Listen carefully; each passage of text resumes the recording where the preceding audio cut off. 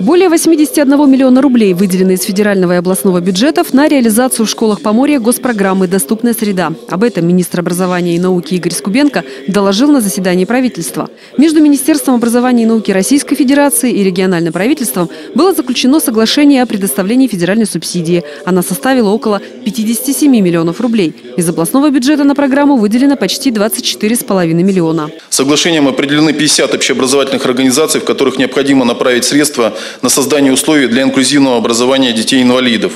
Э, отмечу, что целевой показатель, который мы должны достичь, это 20% общеобразовательных организаций с соответствующей доступностью для э, детей с ограниченными возможностями здоровья. Из 50 попавших в программу учреждений образования 37 муниципальные, 13 государственные. Каждая получит по 1 миллиону 628 тысяч рублей.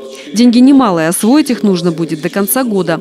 Многое теперь зависит от того, насколько оперативно отработает Министерство образования и науки. Мы э, соответствующую подготовительную работу начали заранее, чтобы уже сегодня Э, подписав соглашение и закрепив средства в областном бюджете, оперативно начать все необходимые конкурсные процедуры. Средства пойдут на создание условий, необходимых для инклюзивного образования детей с ограниченными возможностями, проведение ремонтов и оснащение школ специальным реабилитационным и компьютерным оборудованием.